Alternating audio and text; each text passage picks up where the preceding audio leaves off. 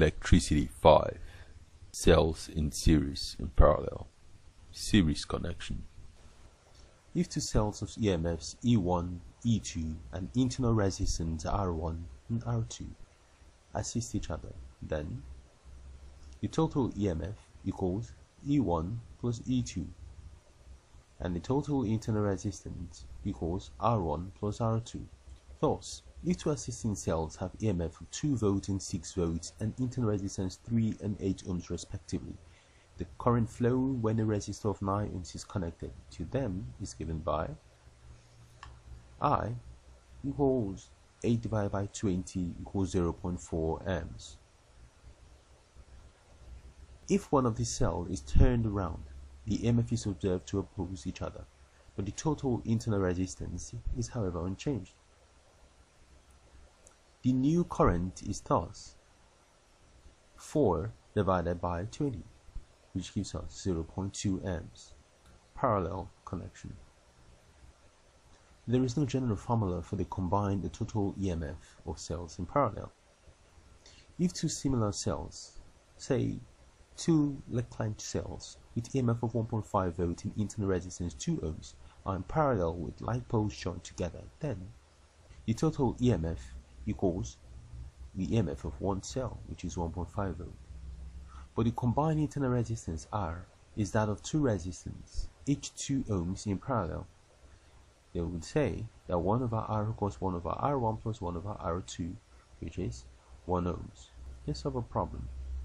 Two batteries each of EMF 3 volt and internal resistance 4 ohms are joined in series and then in parallel. Calculate the current through each cell if a wire of 2 ohms is joined to each arrangement. Solution In series, the total EMF equals 3 plus 3 equals 6 volts and the total internal resistance equals 4 plus 4 which is 8 ohms.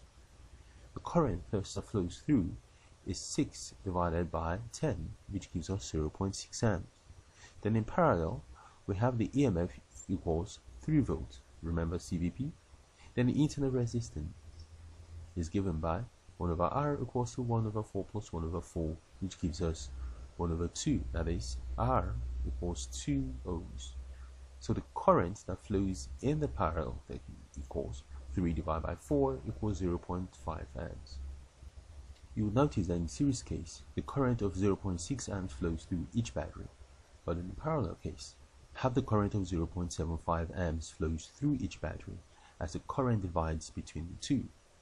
Hence, the current through each equals 0.375 amps. Comparison of EMFs, potentiometer. Accurate measurement of EMF or potential difference is done with a potentiometer. Using a potentiometer, an unknown EMF E2 can be found by comparing it with a known EMF E1. You see that the setup consists of a resistor wire PO of 1 meter long with an accumulator A connected to it to maintain a constant current. To compare EMFs, one cell C is connected.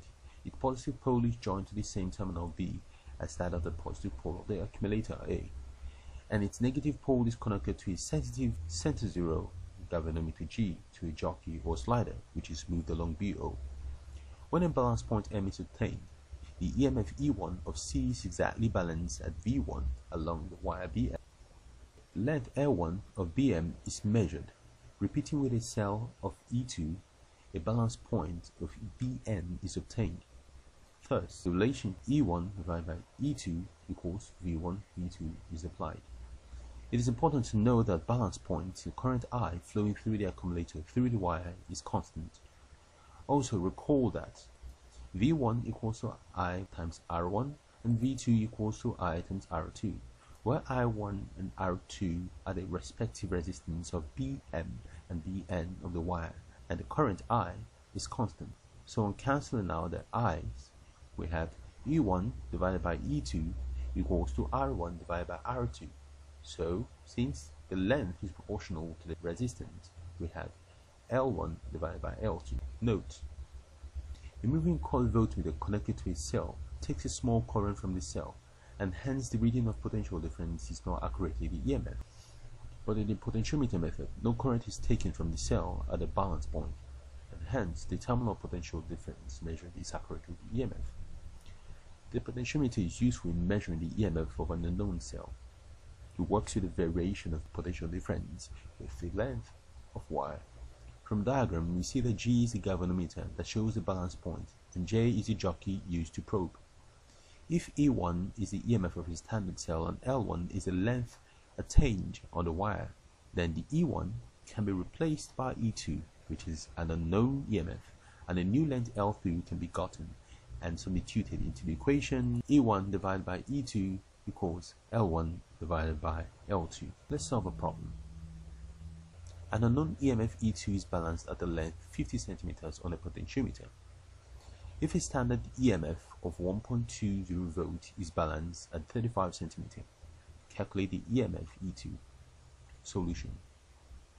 The standard EMF E1 is 1.2 and the length is 35. The unknown EMF's length is 50 centimeters. So from E1 divided by E2 equals L1 divided by L2, we have the E2 equals 1.20 multiplied by 50 divided by 35, which gives us 1.46 volts. Wheatstone bridge. The Wheatstone bridge circuit consists of a resistor of unknown resistance Rx and three known resistors R1, R2, and R3, usually connected in the form of resistor boxes. So how does it work? One of the resistors, say Rx, is adjusted until the galvanometer G between M and N shows zero deflection, that is null deflection. This is known as the balance point. At this balance point, no current flows through 1 and 2 to the galvanometer. I repeat, at balance point, there is no current flowing through the galvanometer, so the potential at M must be equal to potential at N. So if R1, R2, and R3 are known, then Rx can also be known by making it the subject of the equation, such that we have Rx equals R3 multiplied by R2 divided by R1. The meter bridge. The Wheatstone bridge is used in construction of the meter bridge. An unknown resistance P can be measured with the bridge circuit using a known resistance Q of the same order of magnitude at the balance point D. If L1 is a length AD and L2 is a length DC at the point of no deflection, then, then P divided by Q equals L1 divided by L2, which is P equals Q times L1 divided by L2. If Q is 10 ohms and say L1 is 56.2 centimeters and L2 is 43.8 centimeters, then P equals 10 times 56.2 divided by 43.8 equals 12.8 ohms. Let's solve a problem. Find the unknown resistance P using a meter bridge circuit. A standard resistor Q, which is 5 ohms, is connected along arm BC. If the balance point D is 30 cm from A, what is the value of the unknown resistor P? Solution. Since the standard resistor is 5 and its length or balance point is 30 centimeters and the unknown resistor has a balance point of 70 centimeters. The Wheatstone bridge balance point is thus given by P divided by Q equals L1 divided by L2 which is P equals 5 times 30 divided by 70 equals 2.14 ohms. Note, the meter bridge is one form of Wheatstone bridge circuit. It uses a no deflection or null method of measurement. This is much more accurate than the voltmeter method of measuring resistance. This is because point instruments have zero errors, whereas the Wheatstone bridge uses the galvanometer only as a current detecting instrument and not a measuring one. Precautions While conducting the experiment, here are some precautions you should take. 1. Ensure that all connections are tight and secure. 2. The known and unknown resistance should be interchanged to obtain another set of readings for L1 and L2. 3. The known resistor should be chosen such that the balance point is fairly near the center of the wire. 4. Keep your key open when not taking reading. 5. A high protective resistance must be connected in series with the galvanometer. 6. Avoid parallax error on all measuring instruments. 7. You must repeat your readings. Question time. Question 1. In an attempt to design an electrical device, you connect 2 ohms resistor to two identical cells of EMF 1.5 volt and internal resistance 1 ohms. Calculate the current in the circuit if your components are connected in 1 series, 2 in parallel. Question number 2.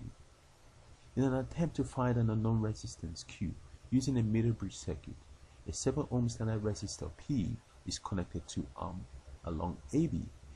If the balance point D is 42.5 centimeters from A, determine the value of the unknown resistance B. Question number 3. In a potentiometer circuit, a 1 meter long potentiometer wire PQ of resistance 10 ohms is connected in series with a cell of EMF 9 volts with internal resistance 3 ohms. Calculate 1. The potential difference across PQ and 2 the EMF of a cell which has a balance point of 75 cm.